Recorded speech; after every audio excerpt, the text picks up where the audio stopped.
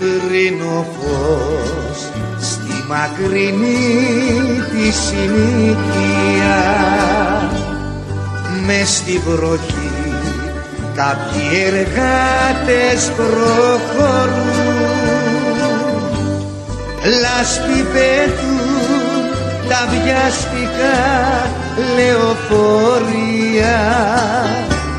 Και στο στάθμο δυο μετανάστες καρτέρουν λάσπη πέτουν τα βιαστικά λεωφορεία.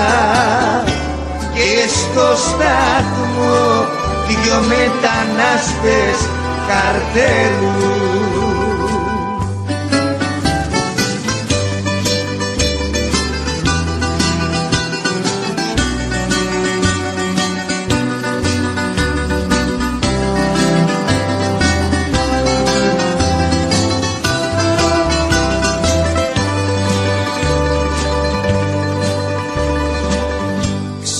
ξύπνησε η πόλη τα γιαπιά και το λιμάνι.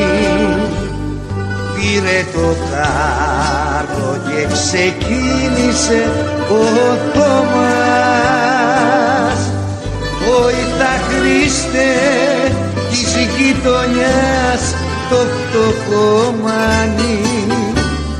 Βοηθά Χριστέ να γίνει κάτι και για μας.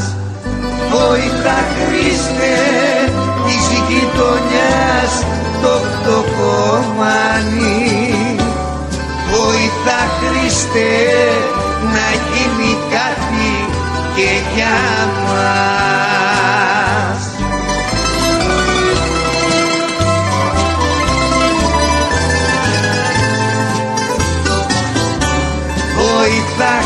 είστε να